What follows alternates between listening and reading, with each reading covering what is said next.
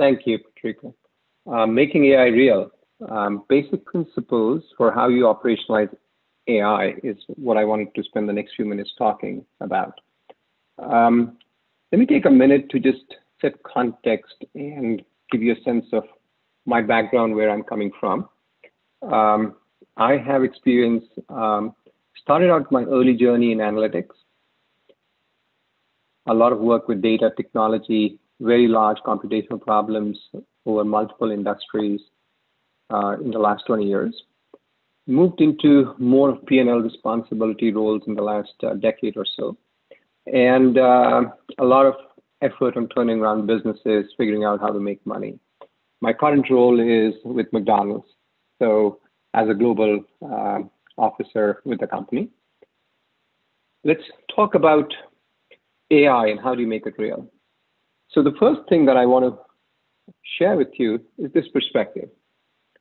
We talk about AI all the time, but before AI, there is strategy and there is data.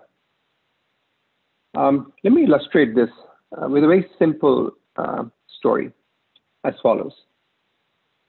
Let's take a typical um, B2C company um, where the marketing leadership, the executive leadership is talking about targeting marketing actions to customers.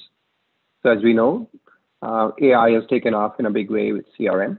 So we could target marketing actions, leverage AI, and uh, there are so many articles out there about driving future growth in business, right? So it's a pretty standard story that you hear, and it's pretty compelling when you think about it, right?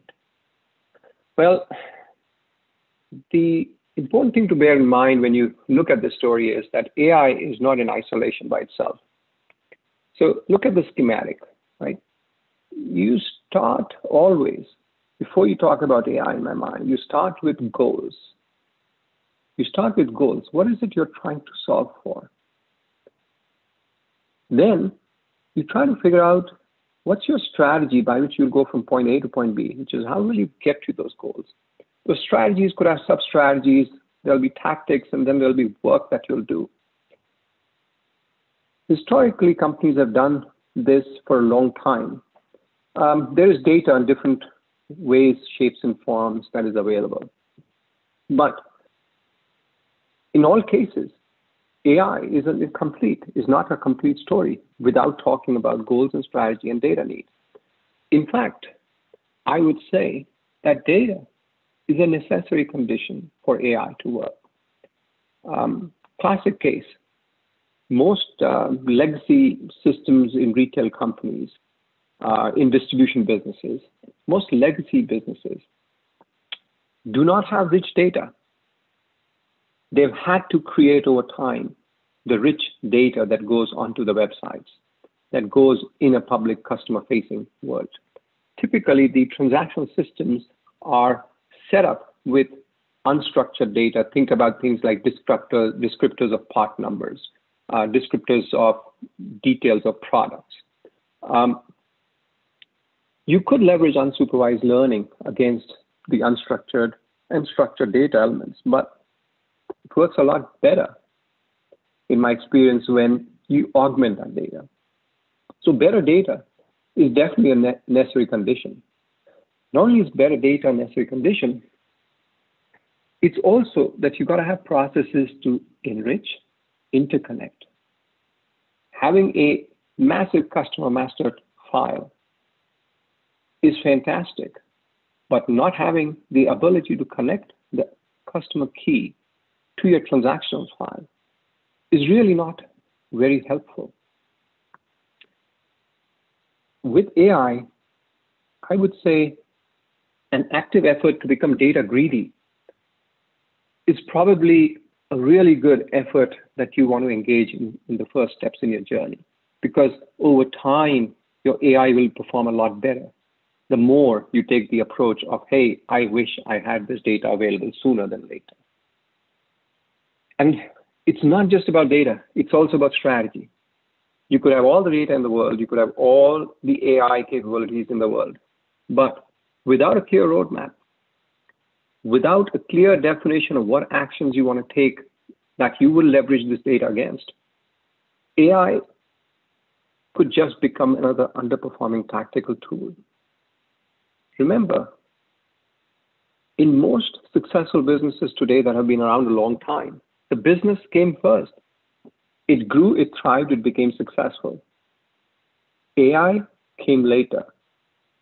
So there's a huge amount of work that needs to always be done when you implement AI driven processes into integrating into the existing legacy processes, mindsets, capabilities that have historically built strategy and executed to action without leveraging AI.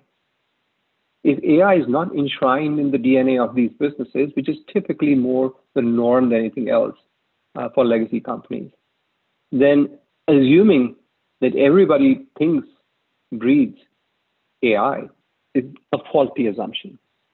So strategy data, critical, critical, necessary, sufficient conditions for successful AI. Let's talk about a second piece when we talk about making AI real. I call this the element of the domain specialist data science gap. And it's a real gap. Um, the gap is in terms of a common language, in terms of a common understanding, in terms of a common view, which leads to a gap in a common approach over time. So let me try to illustrate this with a couple of cartoons from Dilbert and then dive into a little more detail here. Take a look at this one. I love this cartoon. Um, I think we should build a SQL database. Uh-oh. Does he understand what he said? Typical problem with a lot of top executives. They did not grow up in the world of AI. So what color do you want this database? Hmm, I wonder which color has the most RAM. Anybody that's data savvy in today's world, that's why the cartoon is the cartoon, knows that's a nonsensical conversation to have. And you'll be surprised how many times there are nonsensical conversations happening. Do we have actionable analytics from our big data? Again, another Dilbert cartoon. Yes. Whenever you learn new jargon, my productivity plunges. Plunge, plunge, plunge, right? So the reality is that business is a social enterprise. The reality is that people talking AI are not just talking to other people talking AI, they are talking to other constituents and stakeholders in the business. Let's examine one of these stakeholders. Are we talking to each other? From a business leader's point of view, if you go to an executive and say, here's what I want to do with my AI, their question is, will this work? What are they really asking when they say, will this work?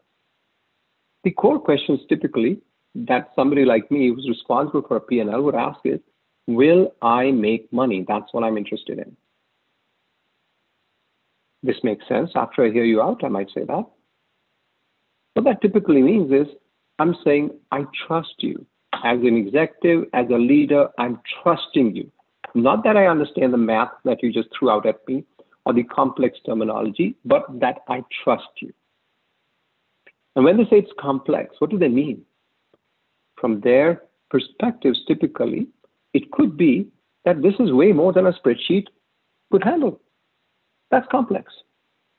However, let's examine a different stakeholder in this process, the AI expert. How does the AI expert operate? If an AI expert hears the word, will this work? What do they interpret? They interpret it to mean, can I program a solution to solve this problem? a very different way of understanding the word will it work. This makes sense. If an AI expert says that, hears that, has that discussion, they're really talking mostly about the code. It seems to work when I check it. It goes from point A to point B in the code and it's, you know, moving along the way I expected. The output looks cool. This is complex. Complexity is not about spreadsheets. Complexities for the experts is about the exciting perspective, the exciting possibilities that there could be a number of teams working many hours, boot camp style. We could be having so much fun writing this solution.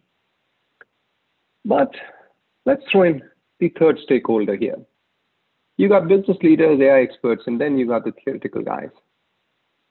Will this work? If I'm a theory guy and I'm coming from a math perspective, I would say, is there a mathematical solution to this problem?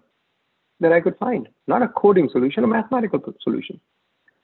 If I'm a theory person talking about marketing problems, I could be thinking about is there a theoretical paper that has been published somewhere that I could leverage? This makes sense. This makes sense to me. It's elegant. It's like my PhD dissertation. It's very sensible. That's not what the other two are thinking. And this is complex for somebody coming from a math theory background. It's like the asymptotic properties of random evolutions, right? It's, it's, it's complex like that. How do I explain that to you in English? It is not something that is trivial. But right here, you see, you've got three groups at least that are just not talking to each other. And this happens again and again in companies. So, how do you solve this kind of a problem? Well, the problem is that there is a gap between the different stakeholders. And what you're trying to do is figure out a way of connecting stakeholders so that they are united and marching towards a common purpose without anything slipping in these discussions, in these efforts. One of the ways that I've found that you can make progress at bridging this gap is through education. Um, educating the stakeholders. I'll refer you to a book that uh, my co-author and I published, Machine Learning and Artificial Intelligence in Marketing and Sales. It's an essential reference, is how we look at it for practitioners and data scientists. It is positioned from this perspective, and I wanted to bring your attention to it because that's the kind of effort you've got to go through. How do you get the computer scientist talking to the market researcher, talking to the business leader? It's a lot of work. It's a lot of effort trying to build that bridge that gets them to talk to each other so that you are able to bridge the gap between the domain specialist who's talking a certain jargon and the data expert who's talking a different jargon. And they both are nodding their heads vigorously, but neither is really talking about the same thing. Can better education play a role? Right? I believe it can. It can collect, and we don't probably spend enough work, enough time at trying to connect the different stakeholders. So I've given you at the bottom of the page a, a the Emerald uh, Publishers um, link. And if you want to, you're welcome to avail of a discount of 30% discount on purchasing by typing the code Emerald30. I uh, didn't want to do more than just call out the fact that there is, I believe, a huge need to be able to get to a common language and a common way of talking about it and understanding each other so that we could make better progress through AI. And the next point I want to touch on on making AI real, look, it is important to keep in mind that often when you're talking AI, you're talking to the sell side. Who's the sell side? These are people whose job is to sell AI to you. So what you'll hear is a lot of promises, promises, and hand waving. Remember, successful AI is about not just the beauty of AI itself, but about the beauty of the outcome you're looking from it. Whenever you launch an AI journey, keep in mind, culture eats AI for breakfast. Let's examine the story a little bit more. For example, in a typical corporation, you've got legacy systems, got processes that don't connect, most cases, you've got poor data muscle. I call poor data muscle because they didn't grow up in a data rich environment. And if they've been around for 30, 40, 50 years, there's a lot of data that is absolutely not sanitized, not doesn't have hygiene, it's not connected, not understood, not leveraged, not utilized, et cetera, et cetera. And the skills and the work, works, workforce's aptitude for change is pretty limited. In an environment like that, if you were to come in and say, hey, you know this AI, it'll solve all your issues. I'd look at that and say, that's more like a solution looking for a problem because it's not necessary that AI will solve all your problems. There are some things that are required. Remember earlier I talked about data and strategy for AI to really work and become real for you. A lot of people have an exposure to AI through what they have seen in movies or what they have read. Uh, remember this, Elon Musk? With artificial intelligence, we are summoning the demon.